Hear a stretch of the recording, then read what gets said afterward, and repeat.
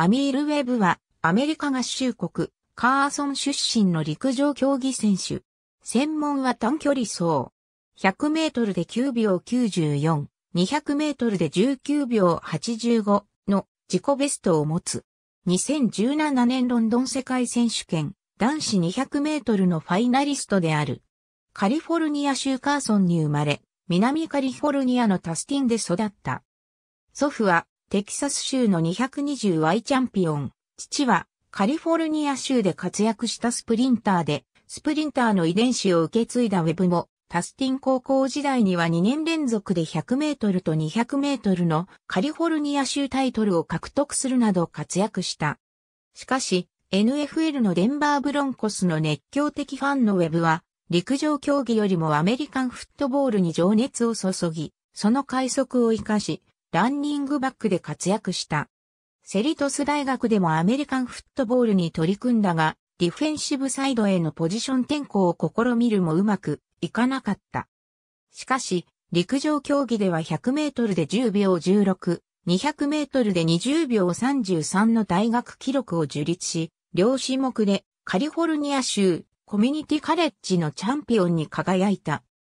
陸上競技に専念することを決めた。ウェブ2011年末にテキサス A&M 大学へ進むと、在籍した2シーズンの間に全米学生室内選手権、男子200メートルを連覇、全米学生選手権、男子200メートルで優勝するなど、200メートルで全米学生チャンピオンに3回輝いた。全米学生室内選手権初優勝を果たした2012年大会では、予選で今季室内世界最高記録となる20秒39連覇を果たした2013年大会では予選で室内全米歴代10位、室内全米学生歴代8位の20秒37をマークした。6月下旬の全米選手権男子200メートル決勝では20秒20の自己ベストをマークするも5位に終わり、モスクワ世界選手権アメリカ代表の座を0秒10差で逃した。2014年世界大会デビューとなった5月の世界リレー男子4 200メートル決勝でアメリカチームの3走を務めたが、2走のカーティス・ミッチェルとのバトン交換で違反があったため、アメリカチームは1分20秒61で3位に入ったものの失格に終わった。2015年6月の全米選手権男子200メートルでは2年ぶりに決勝に進出するも20秒30の6位に終わり、表彰台及び北京世界選手権アメリカ代表には0秒20届かなかった。今シーズンはきつい練習もこなし、やるべきことをすべてやって臨んだ結果が6位ということに、ショックだったウェブは陸上競技をやめて警察官に転職することを検討したが、陸上競技をやめることはできなかった。2016年4月9日のサンエンジェルトラッククラシック男子100メートルで9秒台に迫る10秒03の自己ベストをマークすると、1週間後の16日に行われたマウントサックリレーでは、男子100メートルは追い風参考記録ながら9秒90、男子200メートルは自身初の19秒台となる19秒91をマークした。5月6日のダイヤモンドリーグドーハ大会男子200メートルで19秒85をマークし、自己ベストを0秒06、大会記録を0秒17更新して、ダイヤモンドリーグ初優勝を飾った。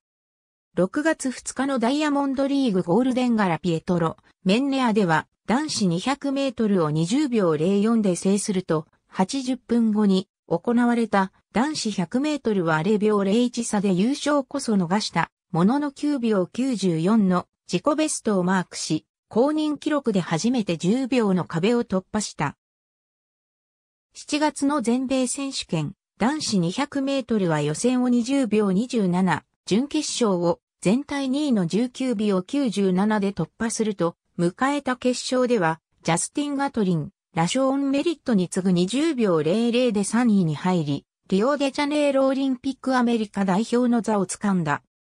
8月のリオデジャネイロオリンピック男子200メートルには、ラショーン・メリット、ジャスティン・ガトリンに次ぐ今季世界ランク3位として臨むと、4レーンからのスタートとなった予選は直線に入って、組2着以内を確信したが、大外から追い上げてくる選手に気づかず20秒31で3着に終わった。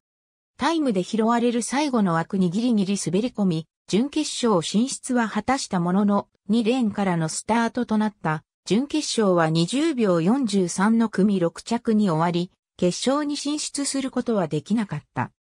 2017年3年ぶり2回目の出場となった4月の世界リレーでは男子4200メートルでアメリカチームのアンカーを務めると優勝したカナダには0秒46及ばなかったものの1分19秒88で銀メダル獲得に貢献した。6月25日の全米選手権男子200メートル決勝ではクリスチャン・コールマンをフィニッシュ直前でかわし20秒09で初優勝を飾るとともに、ロンドン世界選手権アメリカ代表の座を掴んだ。迎えた8月のロンドン世界選手権男子200メートルでは決勝に進出し、20秒26で5位に入った。記録欄のうちの数字は風速で、プラスは追い風を意味する。備考欄の記録は当時のもの優勝したダイヤモンドリーグの大会を記載。金色の背景はポイント対象レースを意味する。優勝した全米大会を記載。ありがとうございます。